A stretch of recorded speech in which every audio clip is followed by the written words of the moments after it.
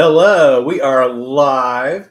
Hi, everyone. I'm Mitch, I'm Philip, and we're coming to you from San Francisco, California. Woot Woot Woot, where today it is foggy And cold. and only 62 Yeah. degrees. Well, that's cool. Well, I mean, you know, it seems colder because it's breezy and it's really foggy and overcast. It is it's- autumn, It's been foggy and overcast for days. but October is usually San Francisco's warmish month, warmest month, and it's not been that way this, this year. Not this year at all, no. So, uh, let's see, what was I going to say about that? Oh, well, just so you want to know, we always like to check the weather in Brentwood, where we're going to be moving early next year. And here it's only 62 in San Francisco, and it's like we said, it's all foggy and overcast. In Brentwood, it is 82 and it is sunny. I mean, no clouds, no fog, just sun, sun, sun. So that sounds really good. We're looking forward to being Yeah. in a sunnier environment in the not too distant future.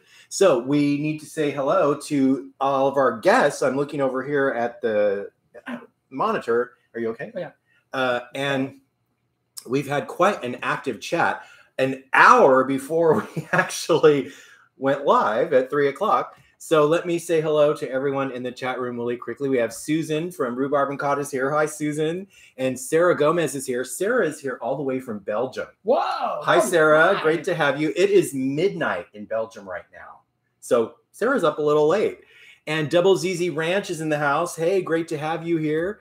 Terry from Madwood Barbecue is in the house. Our good friend Sunset is in the house. And Sent One 1000 has joined us today. Woo woo. Thank you all for coming to hang out with us. That is so awesome. Now, I hope I didn't miss any names on the way through here. Let me go through and be sure I didn't miss anybody. If I did, just know that we appreciate you being here and we're really glad you came to hang out with us this afternoon. We have a fun party mix to show hmm. you. Woo, woo. And here it is. Let me give you a closer look. In fact, let me give you an even closer look.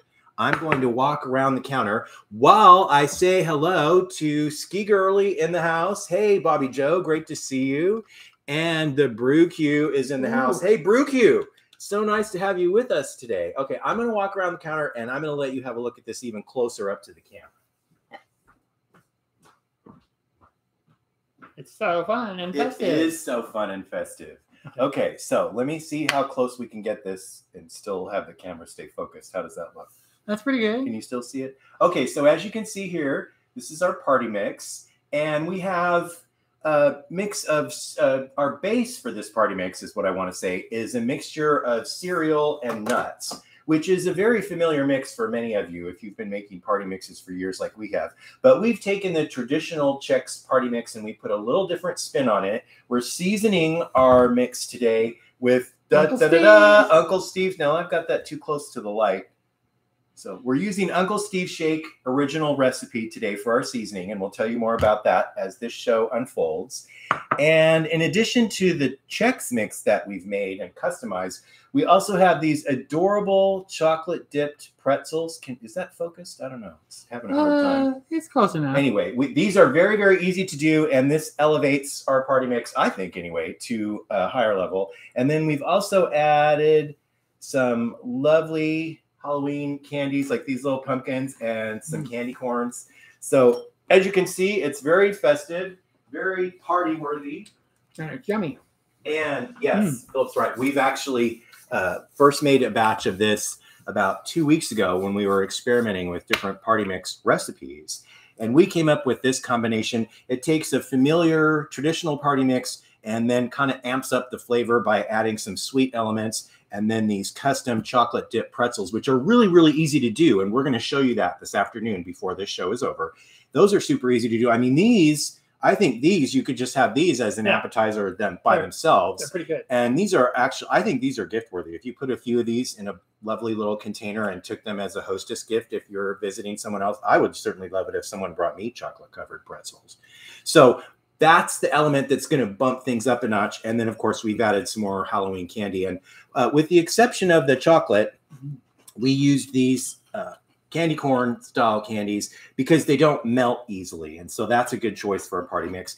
And these dipping chocolates that we used, both the white and the dark chocolate, uh, don't remelt easily just at room temperature. So they're pretty stable as well. So this really makes for a great party mix that you can eat with your fingers and not have a huge, huge mess. And then what does get on your fingers is the buttery goodness from the cereal mixture. And you know, that's what fingers are for is licking, right?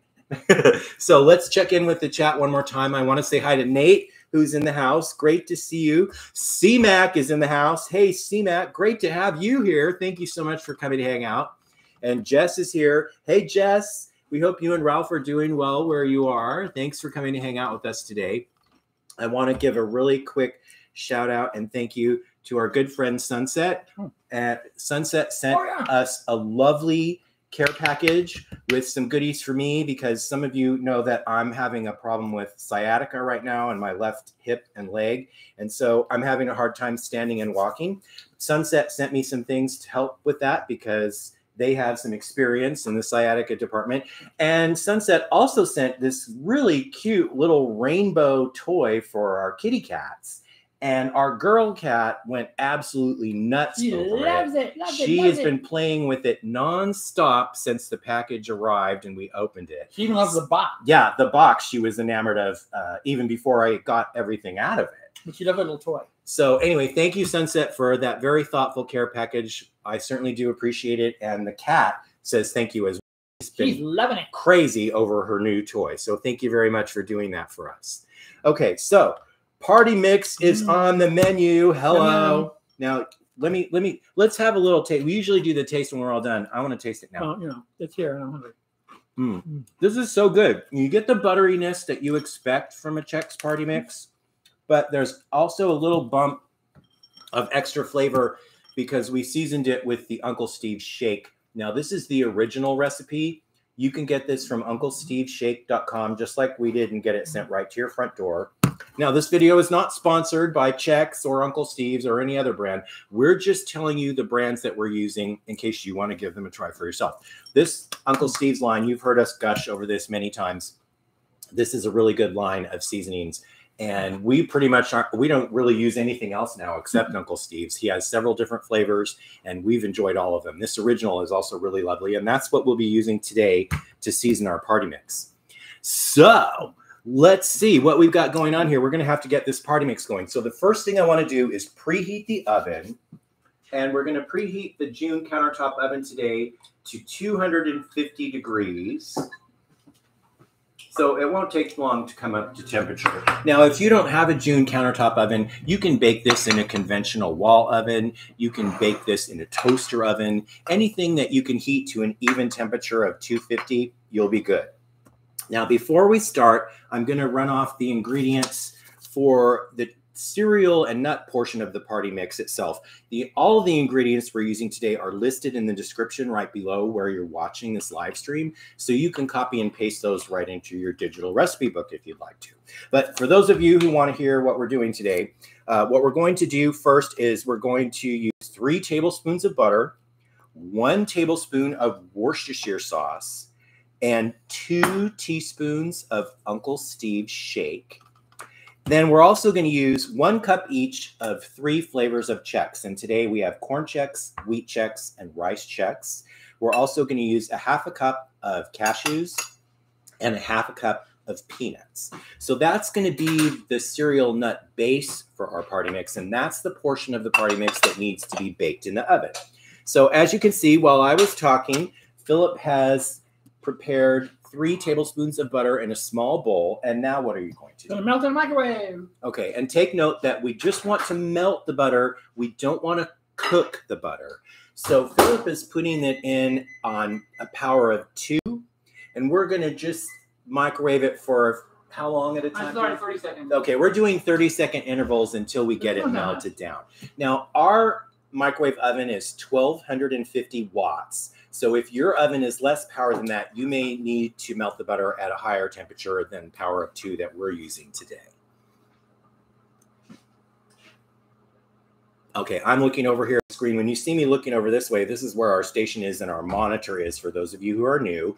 And so when you see me looking over this way, I'm just checking out the chat to make sure I acknowledge people as they come in because we always like to say hi to our guests and then see if there's any questions. If you need to draw our attention, when you're typing comments into the chat room, you can use the at symbol and then write at Mitch and Philip. And what that does is create a highlight over our channel name. And that stands out a little bit more than just the typography in the chat room. Of course, you can also put in lots of symbols like Ralph Jenkins has put in some ghosts and pumpkin emojis. Those are super cute. Thanks for doing that. So let's see. Now we've got the butter is melting in the microwave. We'll check it when it gets to the end of this time frame and see how it looks. Thank you, Sunset, for reminding everyone that if you're enjoying the show today, we sure would appreciate it if you would give us a thumbs up. And if you're new to our channel and you like what you see, we hope you'll consider clicking the subscribe button. And when you click the bell symbol right next to it, what will happen is in the future, you'll get a notification whenever we have a live stream, which is usually every Tuesday at 3 p.m. Pacific time. We also have live streams other times, like last week, we or earlier this week, actually, because Sunday is this week. We did one on Sunday night, and that was super fun. So, as you can see, Philip got the butter all nice and melty, melty. And that's all it takes. You know, if you prefer not to use a microwave oven or you don't have a microwave oven, you can melt the butter in a pan on the stove. That'll work just fine. But remember, you don't need to cook it, you just need to get it melted. Okay, that little sound that you just heard is the June oven telling us that it's already up to temperature. It doesn't take long for the oven to heat up. So now Philip's going to add the tablespoon of Worcestershire sauce to the melted butter. Thank you, Jess. Jess says, love the aprons. We are really enjoying our new aprons. We've had aprons before with our logo, but when we changed our channel name a year ago, we didn't have a new logo yet until just recently I came up with this one and we decided we liked it well enough to print it on some swag. So if you'd like to get some Mitch and Philip swag for yourself, on the main page of our YouTube channel, there is a button that says store and it will take you right to our customized girl online store where you can order aprons, t-shirts, hats, beer mugs, all kinds of goodies with our logo on it. So we'd sure appreciate it if you check that out. Thank you so much. Now, as you saw while I was talking, Philip put the Worcestershire and the Uncle Steve shake into the melted butter, and now he's just whisking all of those Woo! ingredients Okay. together. Janine Johnson has joined us in the chat room. Hi, Janine, all the way from Southern California. Thank you so much for being here today. We sure appreciate you joining us. Lovely to see you. The original Chex Party Mix came out in 1953 and it was published on the boxes of Chex. Ralph is right. And you know what? Not much has changed in 70 years because the Chex Party Mix recipe is right here on this box of corn Chex. Now, we're not using the original recipe. It's close, but not quite the original recipe. So we'll tell you more about that. We're going to use one cup each of Chex. Now we're making a smaller batch than what the original Chex mix asks for. You can double, triple, quadruple this recipe to make as much party mix as you expect to need, depending on the size of your function and how many guests you plan to have. So we've got a cup of the rice. Philip's going to get us a cup of the corn Chex.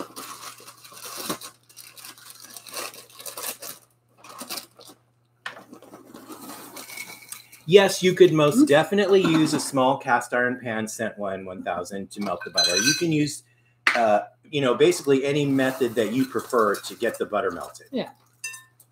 Okay, so there's the corn checks, and now we just need the wheat checks. So we already have this lovely sample bowl made here. So we'll probably be snacking on this while we Oh, make wow. this next batch as well. This party mix has not lasted very long. This is the third batch that we've made in the last two weeks, and it usually only lasts a day or two around here. Between Philip and I and our other housemates, everyone seems to really enjoy this, and it disappears quite quickly. So we have three total cups of cereal, one cup each of corn, rice, and wheat. Okay, so that's it for the cereal portion. Now we're just gonna go nuts. Jules Gilpin has joined us in the house. Hey, Jules, great to have you here this afternoon. Thank you so much for coming to hang out with us. We are making uh, what we're referring to as an elevated Halloween version party mix. It's an elevated version of Chex Mix. We've tweaked the ingredients slightly. Now, right now, Philip is going to add a half a cup of peanuts. And let me tell you exactly, we just got these are called salted cocktail peanuts. They're from Planters. This is something we often have in the cabinet. So I tried to pull ingredients that came right here out of the pantry rather than specialty things that we had to go shopping for. We also usually have cashews on hand, so we're also going to add a half a cup of cashews. My apologies for not having that already pre-opened for you. Usually we always make sure everything's opened in advance so we don't have to go through this ripping the foil off the lid and stuff like that. How about if I take that off? your Alrighty. Okay, so Philip's going to measure out a half a cup of cashews. Or thereabouts. somewhere around. Now, of course, if you like more nuts in your party mix, you can add as many nuts and as many different kinds of nuts as you'd prefer. That's the beauty of a party mix like this is you can tweak the ingredients to suit your personal taste. I remember as a kid, they used to put mixed nuts in it. I like the Brazil nuts because they're really big. Well, you can you we could do that here. You could if you have a nut allergy, you could just leave the nuts out entirely. And of course, if you have some other nuts besides these, you know, macadamia nuts would taste amazing in this. Okay. Okay, so now we've got this mixed together. I want to say hi really quickly to Michelle from Michelle's Cozy Home. Great to have you here, Michelle. So nice to see you. I'm uh, her Halloween projects this year have been spot on. Lovely work, my dear. Okay, so now you can see Philip's got the cereal and the nuts stirred together, and now he's going to pour the butter, Worcestershire, and Uncle Steve shake sauce mixture over the top of the cereal. All this lovely goodness here.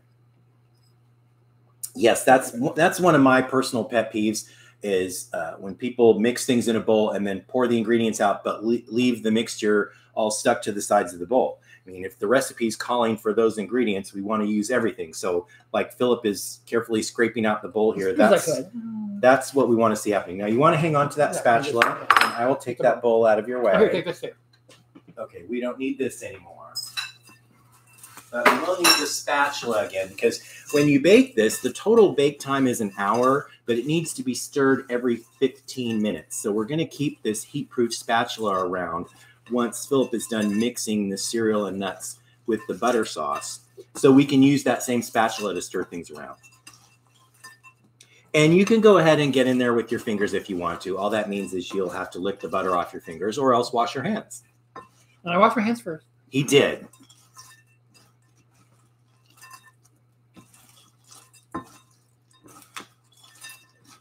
Okay, I think uh, that's as good as it's going to get.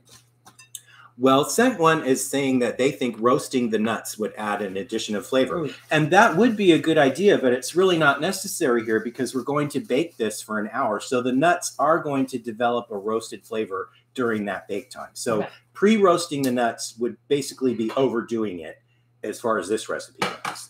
Okay, so what you can see we have here is a baking pan. You can use, we're using a baking pan that fits the June oven perfectly, but you can use any baking pan that you want. And we've simply lined it with a sheet of parchment so the cereal doesn't scorch or burn when it's against the pan.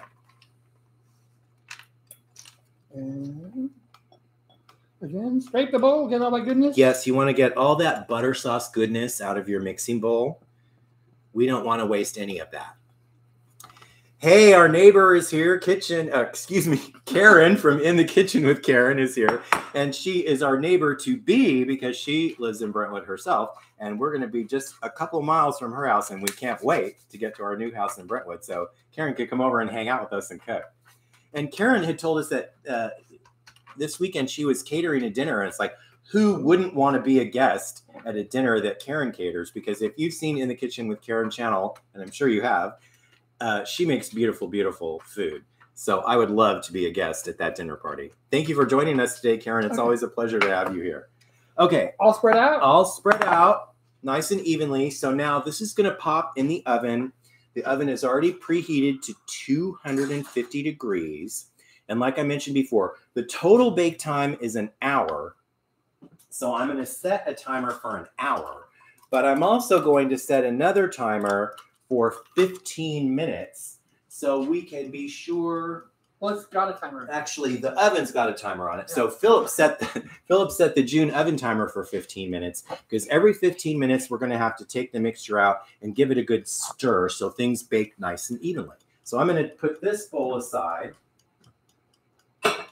and grab this little tray of goodies.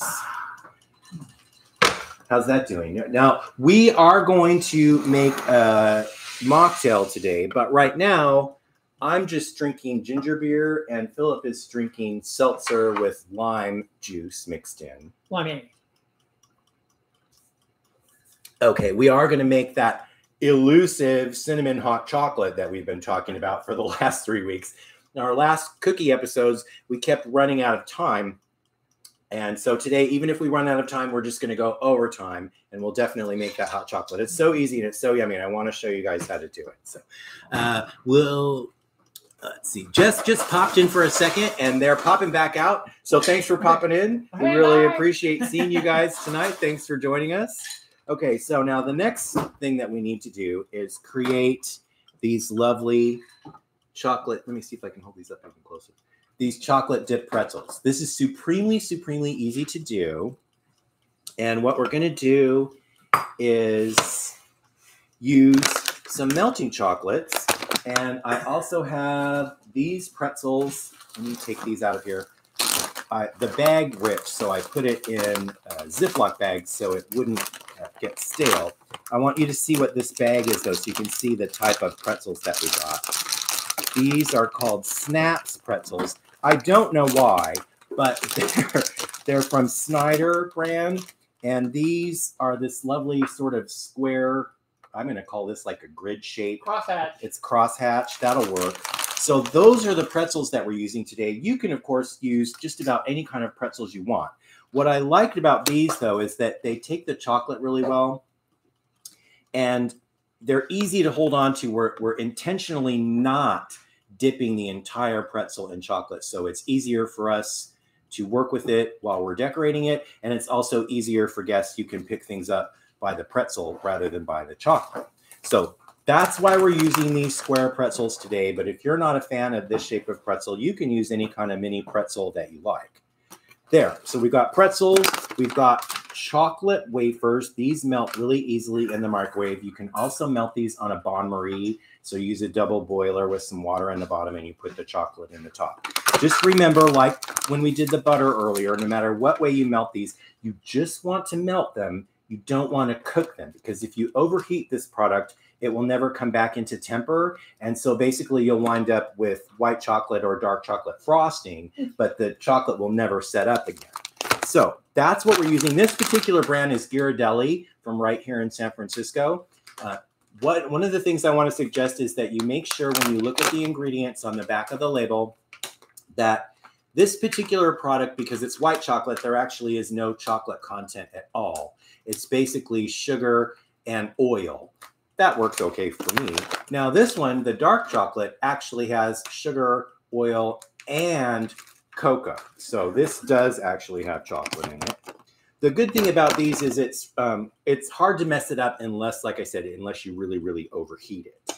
So what we're going to do first is we need to get a little bit of chocolate melted, and I have some left from the other day when we made the sample mix that we have right out here.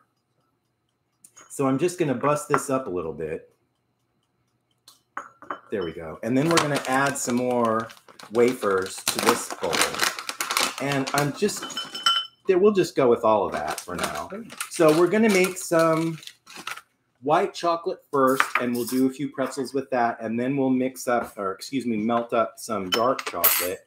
We want to just do one at a time because the chocolates will start to set the minute that you take them out of the oven. And so we want to dip them as quickly as we can before the chocolate starts to stiffen up again. Though we can certainly remelt it. And then we have some other small bowls that Philip's getting out right now. And what those are going to be for are our various and assorted sprinkles. We have lots of different ones. Today we're using primarily non-pareils. If you're not familiar with non-pareils, they're little tiny sugar balls. And like you can see here, they come in a variety of colors. We have a black and orange mix. We have these lime green ones. We have some plain orange ones. Purple one. We have purple. We also have this metallic silver, which is really cool. That I wasn't planning on No. using for this. Uh, we also have, let me show you these. These are some small sugar eyeballs. Yeah, we need those. Oh, for the We're uh, going to take the pumpkins out.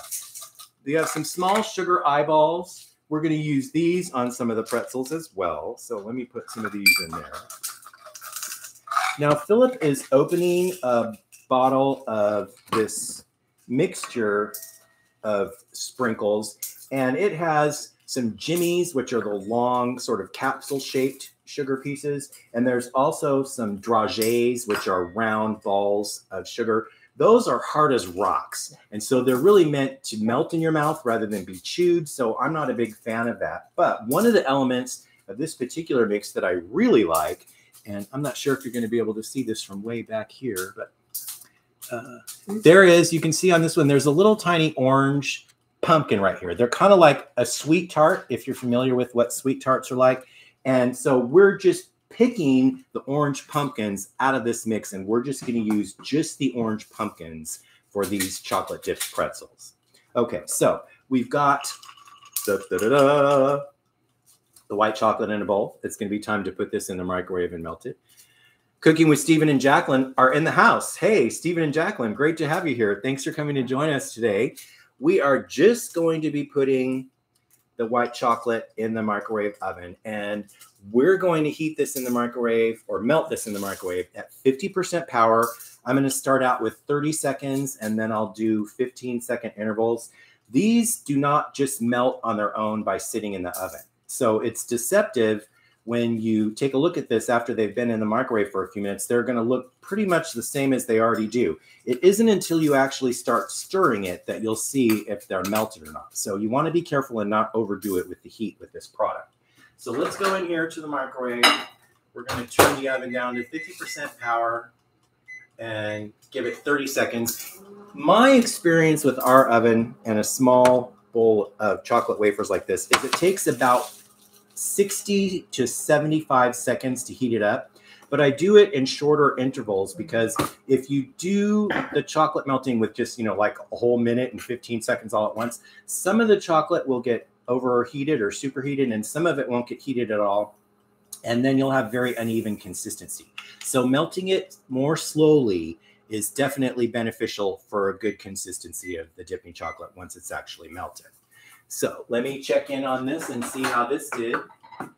Philip, tell us what you're up to right now. I'm just pouring out the different uh, sprinkles in various bowls and making some mixes around. And we have something to dip our chocolate in.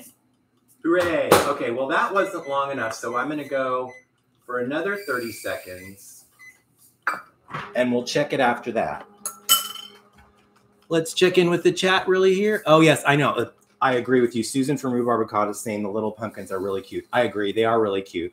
It was worth getting that mix alone just for those cute little orange pumpkins. So Philip has just mixed some bright lime green non-pareils with some purple non-pareils. So we love making our own custom mixes. That's what I don't know if you're going to be able to see this. That's what this particular mix was. It was just a bunch of different non-pareils from separate jars, and we just mixed them all together to create our own mixture. Okay, let's check on this chocolate and see how we're doing. It's starting to get there, but I think we still need a little more time. So I'm going to do 15 more seconds at 50% power. Mmm. The oven, oh, the June oven is doing a beautiful job of baking our cereal portion of our party mix, and it is starting to smell really, really good in here. Thus, if you've made Chex party mix before, you know that it has this very distinctive buttery aroma to it while it's baking and after it's finished. And for me, that's the thing that like takes me back to happy memories from the past. So, okay, so let's have a look in here and see if we finally got this melty melting. Now, this looks a little bit better. What are you looking for? Just checking. Okay. This is starting to get melted. I think we're doing pretty good. Okay, so that's looking better.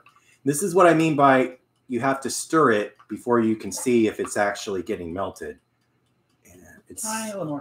tiny little bit more. I want to be careful not to overdo it, but that's definitely a little bit too thick. So let's just go. We're going to go with another 15 seconds and then we're going to call that done. Okay. Mm-hmm. Okay, we're at 50, 15 percent, or excuse me, 50% power, and we're going to go for another 15 seconds. And hopefully that'll get us where we need to go and we'll be ready to start dipping. Okay, oh, you've laid out these lovely. Thank you for doing that. Philip has prepared our sprinkle mixtures and we've got everything ready to go. So as soon as this chocolate's ready, we are ready. Okay, let's give this a good stir and see how it looks there. That's better. That's better. Okay, there you can see it's nice and melty, melty. That's what we're looking for. And I like to just stir and stir and stir because when you microwave it to melt it, sometimes the temperature throughout the chocolate can be uneven. So the more that you stir it, the more even the temperature will become. And then you'll have a better result when you go to start dipping your pretzels. So that's pretty thick, but that's okay. Now, if you have chocolate that's just like way too thick, don't add water to it to thin it down. That will just make it seize up. If you need to thin your chocolate down, my suggestion is to just use a little bit of Crisco, vegetable shortening, just a tiny little bit, like half a teaspoon in a small amount of chocolate like this is definitely enough. And that will uh, thin down your chocolate consistency without making your chocolate seize up. So water and chocolate don't really go together. So there you have, that looks pretty good. That looks melty, melty enough. So we also have a pan prepared with another sheet of parchment paper because we're going to allow the pretzels to set on here and then let the chocolate set up. Now, I've had people comment in the past, especially people with lots of experience in chocolate, that they don't like the idea of setting things on a flat surface when you dip in chocolate. They want to set things on a rack.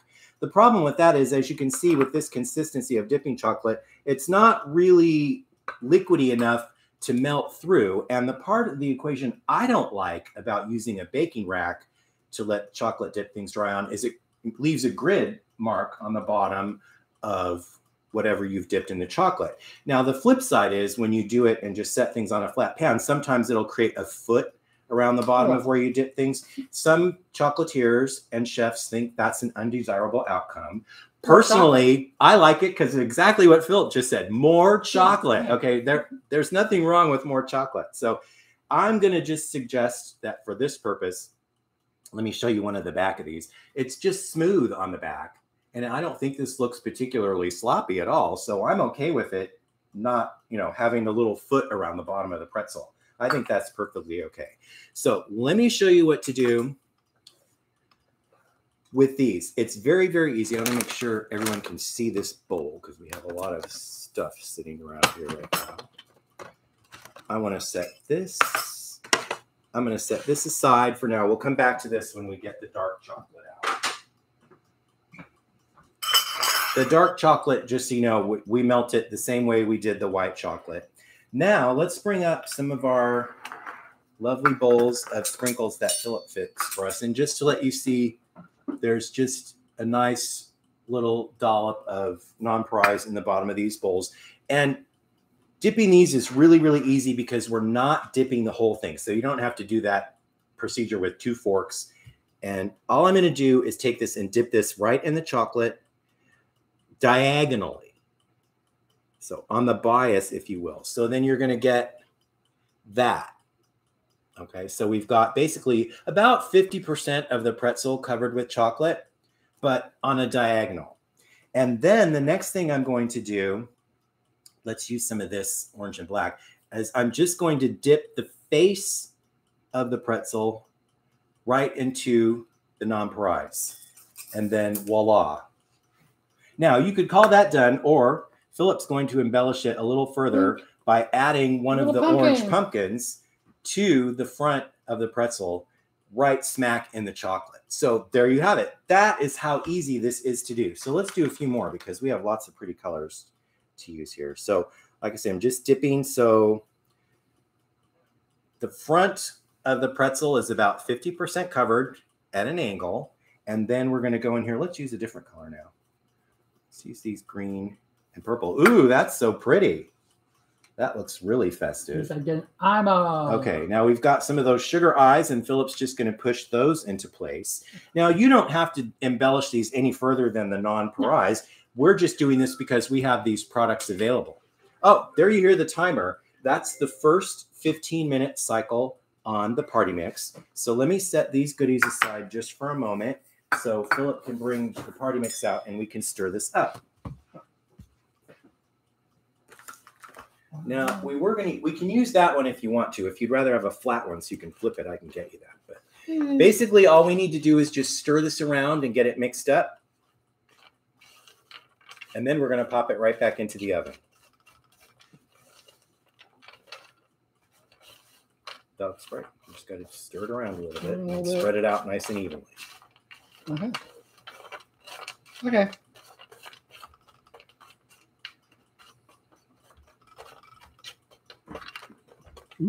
Thank you, Susan. Yes, Susan is commenting about two things that melting chocolate is a tricky business. And you're right, it is. Uh, but she's also saying nice, even roasting. Yes, we're very fortunate to have a June oven because it does a beautiful job on roasting. Oh, there's a piece that fell. Okay, there we go. So now Philip's going to pop the cereal and nut mixture back in the oven for another 15 minute cycle. And then once that 15 minute cycle is finished, we're going to stir it and do the whole thing over again and then put it back in again.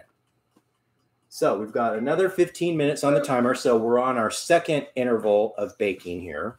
So let's put this aside and let's get back to, we're going to dip a few more of these pretzels while we have the chocolate melted.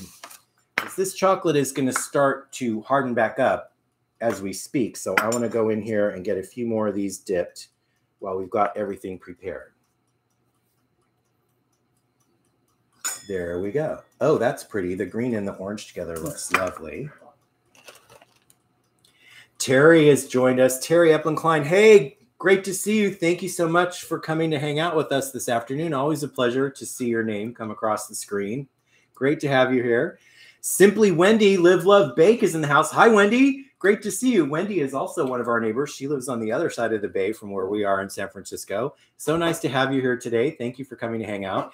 We are in the process of making Halloween party mix, which consists of a base of Chex cereals and some nuts. And we're also right now we're making some custom dipped chocolate dipped pretzels in order to add to the party mix to elevate it a little bit from what you might expect a Chex party mix to be. And today we also changed the flavor profile of the Chex mix itself by using Uncle Steve's Shake original flavor instead of the other herbs and spices that the Chex mix recipe on the box of cereal says to use. So Philip's gone ahead and started dipping some more pretzels while I'm busy babbling. So these are very easy to do, as you can see, and it doesn't take very long to make it happen. And as far as how many pretzels do you need to make for this amount of party mix that we're making, I'd say about three dozen is plenty, but you can make as many as you want. And of course, these could also just be served as a cute little snack or appetizer all by themselves. These are really yummy. And so if you don't, if you're not uh, into making the party mix or you don't need a whole party mix and you just want to do some pretzels, this is also a great thing to have around. And these keep for several days once they've been dipped. Of course, they don't last for several days here at our house because we all tend to be very drawn towards anything with the sweet and salty element. And these pretzels definitely have that. So as you can see, Philip's continued with the dipping while I've continued talking, and he's adding some nonpareils to the front of the pretzels, as well as some sugar eyes and some pumpkin shapes that we got from another sprinkle mix. But you can just use the nonpareils, or you can use jimmies or whatever kind of sprinkles you've got in your cabinet to make this happen. Just the more color, the better, so it looks Yeah. nice and festive. Wendy says sweet and salty doesn't last long in their house either. yeah, we know. Even if I have to put, I have to put notes on things. Let me show you. We made these pretzels yesterday so we could have this sample mix ready. And I had to put a note save for video so no one else eats any because otherwise, if we wake up in the morning, things have disappeared. That's how it is when you live with lots of people. Okay. This chocolate still looks pretty good. We still got a few more of these we could probably dip while we're at it. Okay, so I'm just gonna, like I say, I just dip this in the chocolate about halfway, and we're doing it on an angle. You can dip them in straight on if you prefer that kind of a look. So I'm just taking, excuse me, I want to use the chocolate to show you this. I'm just taking this pretzel and I'm just dipping it in the chocolate so we get about half of the face. There we go. About half the face of the pretzel covered with chocolate. And then we can go in and I'm just going to dip it into the nonpareils and there you have it. That's ready to go. And these don't take very long to set up. You can speed up the setting time once you're done with your tray of dip pretzels by putting these in the refrigerator for half an hour, and that'll help the chocolate set up even faster than it will at room temperature. But these do not need to be refrigerated once you're all finished with them. They're fine in an airtight container. And like I said, they'll last for several days or even a week.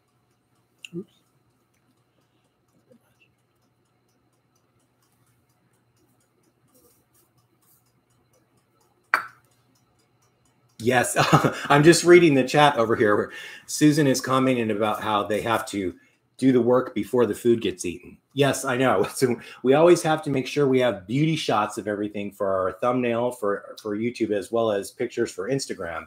So we always have to make up a beauty bowl ahead of time. We usually wind up making everything at least two or three times when we do a new recipe, just so we make sure that we've got the logistics of it all down before we do a live with it, as well as that we need to take pictures so we can post things on social media. So Philip's continuing to do some dipping with the chocolate and the nonpareils, and we're developing a nice, lovely tray of chocolate dipped pretzels here. Those look great. Now, you can see some of them Philip put one eyeball, some of them he put two. You can put as many or as few eyeballs as you like, or you can leave the eyeball portion out of the equation. We're doing it because we think these look cute. Okay, that looks really awesome. You want to do a few more until we run out of chocolate, or we don't Yeah. have to use it all? No. Okay, we'll do one more.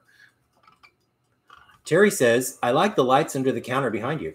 Well, thank you for noticing. We actually do have under cabinet lighting here, but it's very bright white. And we found when we turn those on during a live stream that the camera wants to focus on the back of the room rather than what's going on up here at the front of the room. Yeah. And so we employed some LED lights that change colors with the remote control. And they're actually setting on the countertop, shining up from behind the different elements on the back counter. And we really like these lights because we, with the remote control, we can change them to any color we want. Right now we're doing green, but we've done lots of other colors too. So thank you for noticing those details, Terry. We appreciate that. Okay, so we've got several of these pretzels already prepared. And we're just going to set this aside for the moment. Let's keep this handy. We can do some dark chocolate ones if time allows. Okay. How long before? Eight minutes. Oh, we've got eight more minutes. Okay, so you know what we have time for now? chocolate. We have time to make that hot chocolate. Can we just push these aside over there just for now? Okay, so we're gonna go. If we have time, we'll do the dark chocolate. But just so you know, you handle the dark chocolate the same way as the white chocolate as far as the dipping goes and the decorating. And you can tart these up any way you want with any kind of sprinkles that you like. You don't have to use the things that we're using today. We picked these colors orange, black, lime green, and purple because that's Halloween Halloween. colors at our house anyway. So the next thing I want to show you is what we're going to do for a mocktail. We've been planning to do this and we just keep running out of time, but today we're going to make time. So what I've got here is this lovely black cat Fiesta mug. Those of you who are familiar with our channel know that Philip and I collect Fiesta Fiestaware, and this is Philip's black cat mug. So thank you for letting us use this today. I bought this just for him because it was his favorite pattern. So what we're going to do is we're going to make seven ounces of hot chocolate, and I'm going to add two ounces of cinnamon Torani. And that's it. It's super easy to do. Now, today I'm using these pods. They're like K cup pods for a coffee maker. These have hot chocolate in them.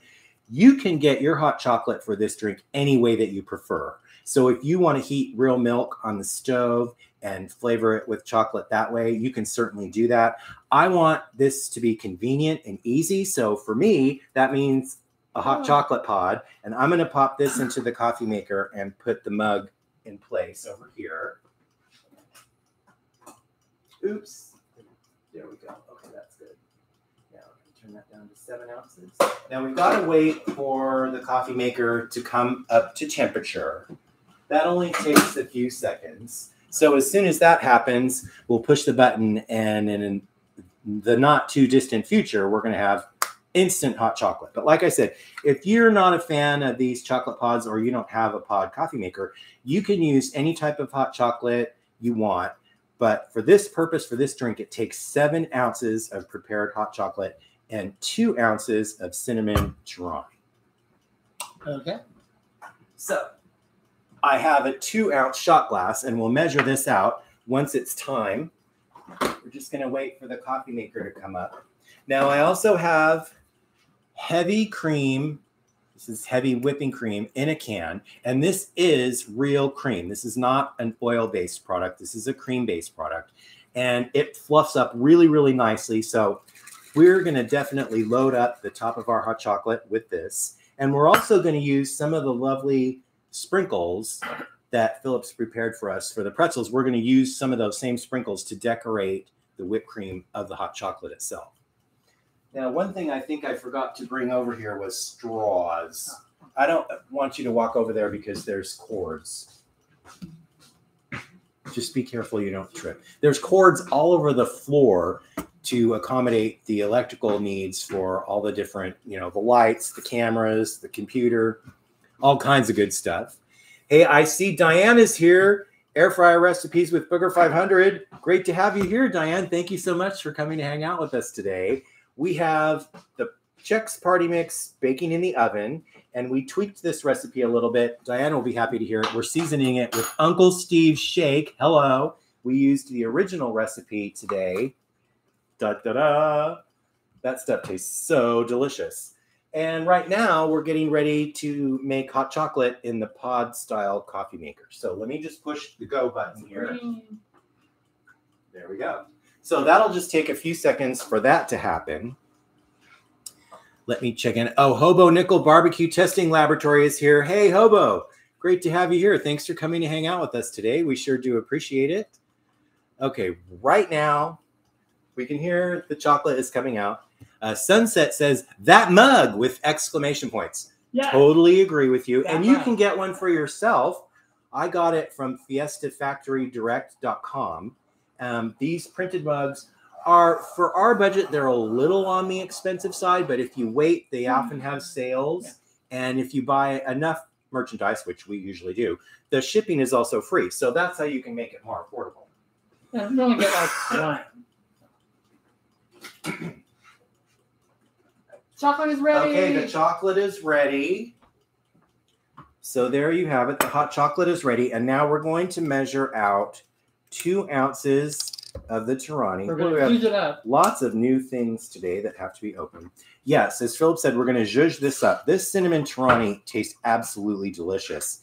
If you like cinnamon liqueur, I love cinnamon liqueur. But since we're not drinking alcohol anymore, I had to find substitutions to get on, and this definitely gives us the flavor of cinnamon liqueur without any alcohol.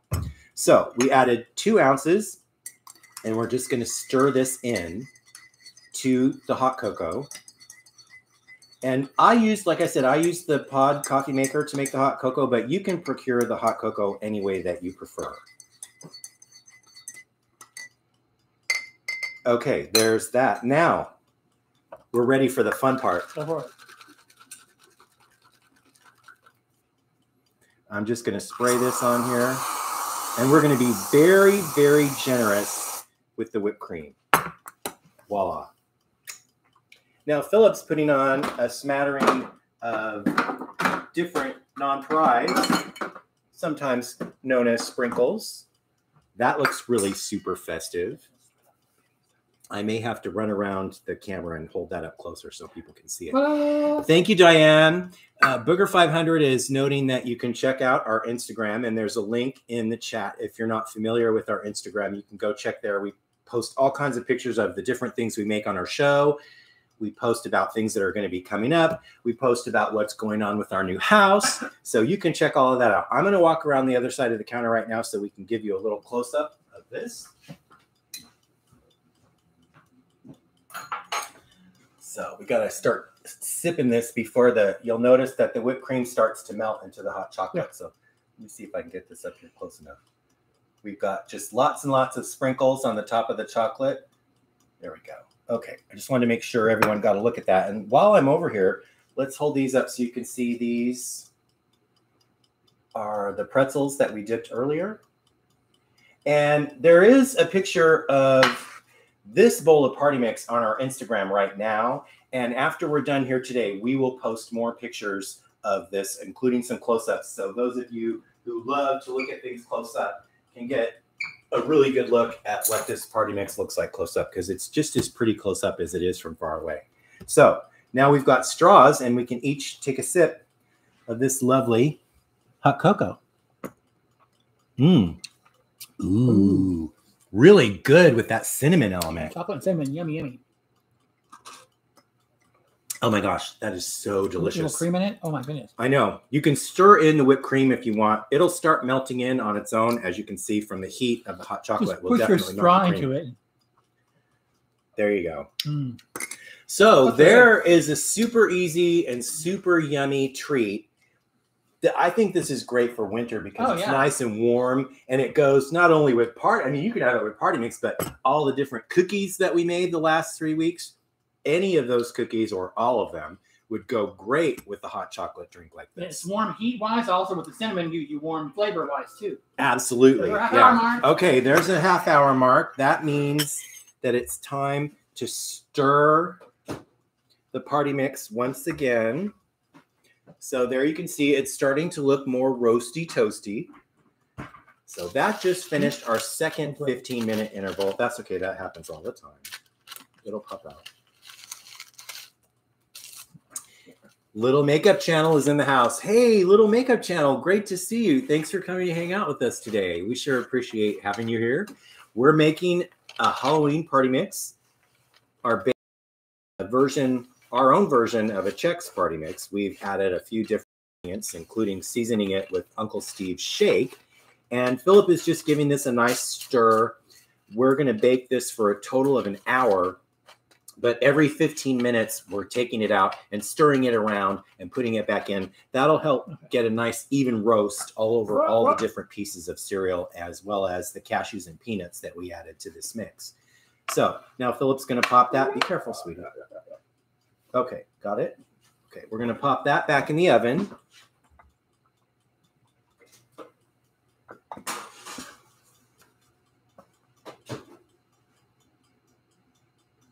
Oh, Michelle, Michelle, I'm so happy to read that. Let me read you Michelle's message. Michelle from Michelle's Cozy Home says she checked out the Fiesta Ware after she saw our unboxing and she purchased the skull plates Oh. and she absolutely loves them. Now, I'm they have several different things with skull motifs, but they also new for this year have an actual plate that is the shape of a skull and it has uh, an embossed design in it that sort of looks like uh, Day of the Dead. That's what I was searching for. And there's Dia de los also Muertos. you nailed it. There's also several different skull patterns that are actually printed, like how this kitty kitty print is on this. But I'm so happy to hear that you were inspired to go check out Fiesta Ware, Michelle, and get yourself some lovely dishes. I would love to see a picture of your table set with your skull plates on your Instagram. So hopefully you can make that happen. I would love to see what your table looks like. Okay, so I want another sip of this cocoa, and then it's going to be time to show how to put all these elements for the party mix together. Mmm. Oh my God, that is so delicious. I'm a big fan of cinnamon. I think if I had to say what my favorite spice was, I'd probably say cinnamon. Mm. But this cinnamon chocolate together, this cinnamon and chocolate in my book is a really, really yummy combination. And this is very satisfying. It's got a nice warming element from the cinnamon as well as the heat from the cocoa itself. But this is super, super yummy. I love this. Mmm. Okay, so let's push that aside for now. I'm going to put this stuff over here just to keep it out of the way. Now, we've got this pretty bowl. Speaking of Fiesta, we have another lovely bowl.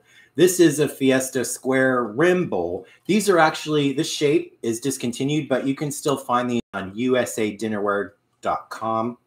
And that's where we got them. I love the square shape. I love the square shape. I don't know why they discontinued it. Maybe, you know, well, they've introduced so many new shapes. You know, there's only so many things they can make at a time. So, okay. So now these pretzels that we just made earlier during this episode, these are going to have to set for a little while before they're ready to be introduced to the party mix.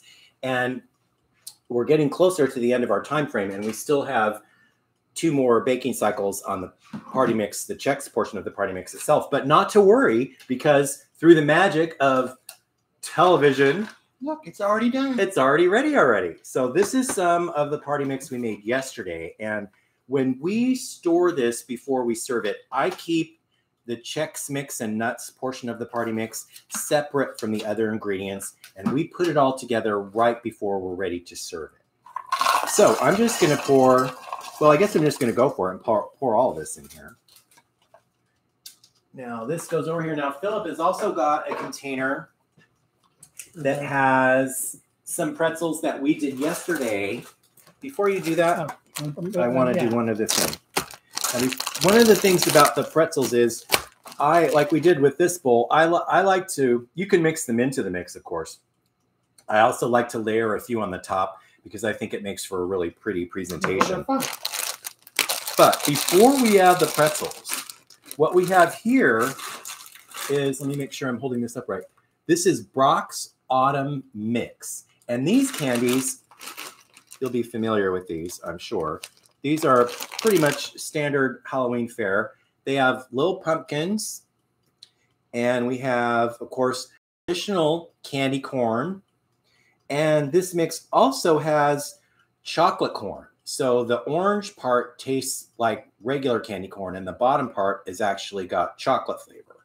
So what we want to do is add some of this to the mix. There used to be more variety in the autumn mix. Well, now they've got three things Yeah. because you know everything changes. But this is delicious, and it's if you like candy corn, this is a great addition. So what I want to do now is just basically stir all of this together Yeah.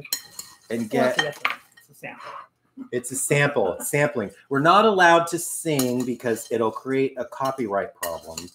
People are like, "Oh, really?" And it's like, "Yes, really." But less than nine seconds. Let's. okay. No, it's not. It isn't? No, it's it's okay legally, but not according to the platform. They'll take our video down in a hot minute if there's any music that we haven't licensed.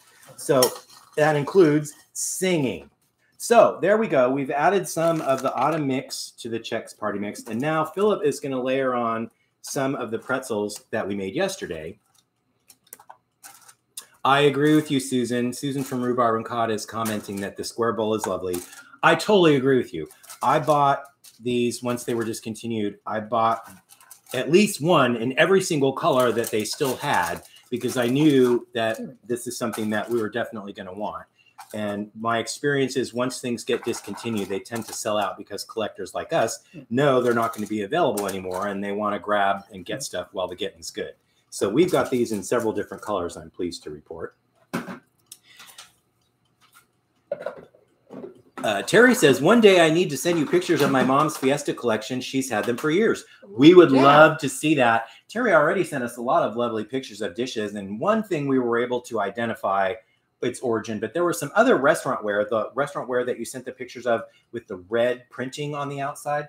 I still have not been able to get to the bottom of exactly what line that's from, but one of these days we'll find the answer to that. So, uh, yes, I agree. Simply Wendy says, yummy to the tummy. This is Yeah. yummy. So, as you can see, Philip layered on some of the pretzels, and I'm going to walk around again and hold this up closer to the camera so you guys can get a look at it. You did a beautiful job with that. It's staring back at us. Oh my gosh. Well, let me see if I can get this up here where you can see it better. There you go. How does that look? yeah, that's not bad. Okay, so that's our finished party mix.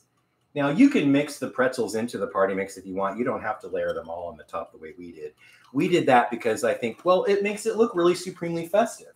But of course, you could also just use these little pretzels and you could serve these on a tray by themselves without the party mix. And this would be a lovely treat as well.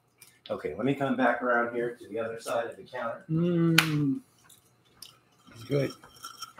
Okay, so there you have it, people. This is our sweet and savory Halloween party mix. Woo, woo, woo, woo. Woohoo, woohoo. Party mix. This is so yummy. And if I do say so myself, I think this looks mighty pretty and very festive. And as you saw over the last hour, is very easy to put together. And I love doing the chocolate dipping. I think that's the most fun part of this equation is dipping things in chocolate. We just love that. Thank you so much. Susan from Rhubarb and Cod says that gets a massive woohoo. It definitely does. This is yummy. I think the addition of the Uncle Steve's shake to the flavor profile of the party mix, meaning the cereal and nut portion of the party mix, is really super delicious. This adds just enough of a kick that you can taste it, but it's not overwhelming with heat. And then, of course, there's the sweet elements from the lovely autumn mix candy that we got. This mix uh, is sometimes hard to find. We wound up getting it at Target. So if you have a Target near you or a store that's similar to Target, that's where you might be able to procure this. We did find this online, but the price was jacked up like five times what these bags of candy should cost. Here in California, these bags of candy cost about four US dollars per bag. We've seen these, these online for $20 per bag. So Try to find them at a big box store if you can. You'll be able to buy five bags for the cost of one online. Okay, so there we have it. Today, we showed you how to make this lovely party mix. We used Chex cereal as a base along with peanuts and cashews. And then we dipped these lovely square pretzels in chocolate and decorated them with sprinkles and nonpareils and little sugar eyeballs because you know it's Halloween. Yeah. And then we added the lovely Brach's mix. So all those things together make for a very festive mix, not only visually but taste wise. This is great because we've got a lot of savory element going on mm-hmm. thanks to the Uncle Steve shake and the butter and the Worcestershire sauce that's on the cereal. Yeah. And then the Halloween candies themselves are sweet. And then there's a little sweetness that comes in from the white chocolate and the dark chocolate.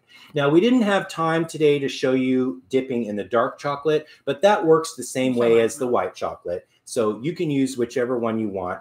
I've noticed some people are probably going to ask, well, why didn't you use milk chocolate?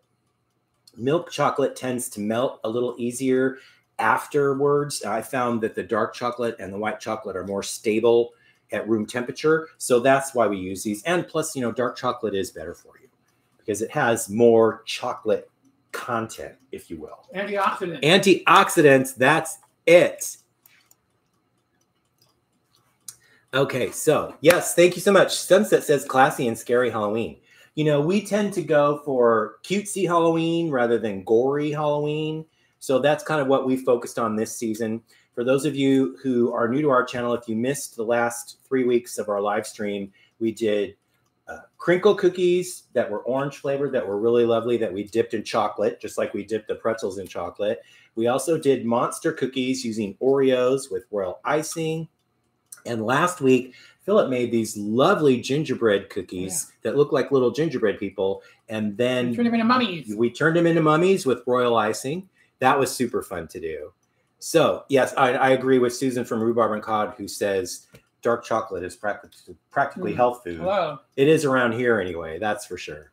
So okay, so um, there you have it. Lovely sweet and savory party mix. This is so yummy. I want to eat one of these pretzels right now. Mmm. Okay. I really like. I really really like chocolate dip pretzels in general. Well, I think these taste really fun. There's a little sweetness from the chocolate, and then of course the saltiness from the pretzel itself. That combination is so so yummy. And the pretzels are so crisp. Mm-hmm. Get nice crunch. Very nice. Okay, so mm-hmm. that is what we've got for you today. Just a reminder: if you missed any portion of this show, you'll be able to watch this live on replay. The minute that we get done, forever. And if you would like to know all the different ingredients and the ratios for this recipe. Everything is printed in the description right down below where you're watching this live stream. So you can just copy and paste the ingredient list right to your recipe book. And then you'll be ready to give this recipe a try. And if you do make this party mix or something like it, we'd certainly love to see it. So be sure and tag us in your Instagram post so we can check out what you've been making and how this recipe worked out for you. Now, we still have uh, a batch in the oven. We're going to continue to bake that once we're done with the show today. And then we're going to have another whole big batch of party mix to snack on. So we're going to have party mix to last us probably have treats for days. yeah, days, days and days. so we are so lucky that all of you came to hang out with us this afternoon. We really appreciate it. And Diane, thank you so much for asking everyone to leave a thumbs up. We really appreciate that. If you're new here and you've enjoyed the show today, please consider hitting the subscribe button. And if you press that little bell symbol, you'll get a notice to your phone right before we have live streams, which are usually every Tuesday afternoon at 3 o'clock Pacific, 6 p.m. Eastern. Though we sometimes do live streams other times as well. Like Sunday night, we did one where we unboxed a big box full of new Fiestaware dishes. We love unboxing videos. And they're really easy to do too. You just open a box and take things out of it. Susan says, maybe you'll have enough party mix to last you until Halloween. Well, not from this Uh, batch. And our, our, our pretzels are starting to run low because we're on our third batch of them. So this will probably be all gone long before Halloween, but we will definitely be making more. And speaking of Halloween, what are we making next week? Halloween crack. Halloween crack candy. Woohoo! This Mm. is a recipe that we've seen done many, many, many times. Most recently from Karen in the kitchen with Karen, she made some Easter crack last year. And we made that recipe based on the way that she did it. And it's really delicious. And we've made a couple of tweaks to it. And we're going to do a Halloween version of that. And it uses saltine crackers and some caramel sauce and chocolate, and then lots of other goodies that we're going to decorate the top with, including candy, M&Ms, chocolate Yeah. chips, all kinds of good stuff. So hang on because there is more. Halloween to come. And then the following week, we're also going to show off a bunch of Halloween candy that's specific for Halloween. And then we're going to create a candy board with all of that candy. So that's going to be really fun because you know who doesn't like a candy board? If you if you may recall, if you've been a long time viewer, we did a candy board last Valentine's Day. That was one of the most watched episodes that we've done this year, and it was really super fun to do. And it's also really easy to pull off. It's just about getting the right candy, and we'll show you all the candy we've collected and tell you exactly where we got it, so you can replicate a candy board for yourself if you like. Okay, so for today, I'm Mitch I'm Philip. coming to you from San Francisco, California. California. Hello. And we're going to get out of here now because we've got to finish this other Mhm. batch that's in the oven. And then we've got to clean up all the mess we made today. And by that time that happens, it's going to be time for dinner. So thank you all for joining us today. Happy Halloween. We'll be back with you next Tuesday, if not sooner. We hope you enjoyed the show today as much as we enjoyed bringing it to you. Thank you so much for being here. We really appreciate having you, and we'll see you next time. Thank you all for joining us today. Bye. Bye. Happy Halloween.